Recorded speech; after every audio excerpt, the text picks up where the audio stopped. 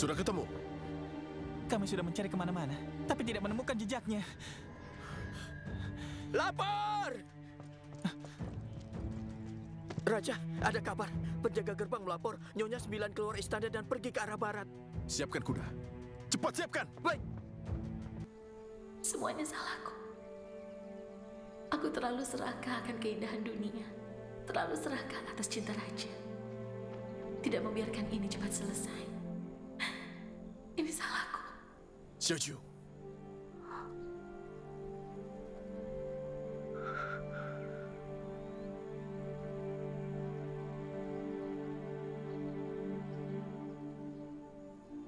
Jangan kemari. Baik. Semuanya mendengarmu. Jangan berdiri di sana. Berbahaya. Kemarilah. Kemari. Raja. Bukankah kau selalu bertanya? Ada siapa di dalam hatiku?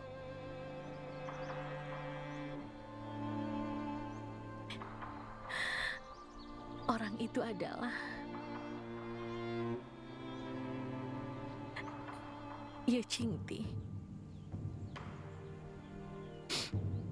Aku tidak percaya. Kau pasti membohongiku. Aku pernah tanya Yi Qingti. Kau sama sekali tidak mencintainya. Jika dia yang kau cintai, kenapa selamatkan aku berkali-kali? Cepat kemari. Kita bicarakan baik-baik. Ayo. Sejak aku masuk istana, menjadi selir, menjadi nyonya, menjadi permaisuri, aku selalu tidak bahagia.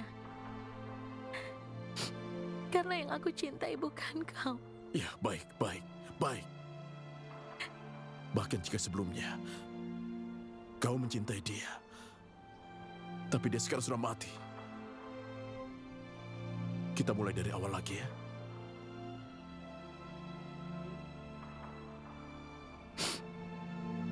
Kenapa?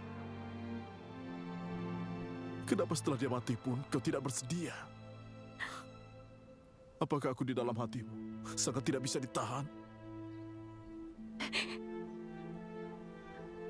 Baiklah, aku akan penuhi keinginanmu. Aku tidak akan memaksamu. Aku akan melepaskanmu, membiarkanmu keluar istana, menjalani hidup yang kau inginkan. Xiuqiu, kemarilah.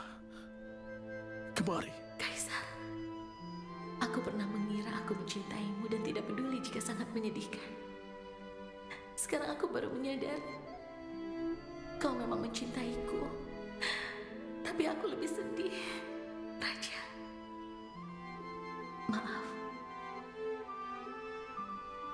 Aku gagal.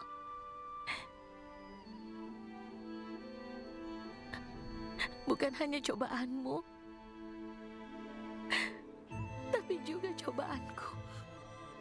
Xiuqiu, Raja. Sampai jumpa. jangan. Raja! Raja! Raja! Raja! Xiuqiu! Raja!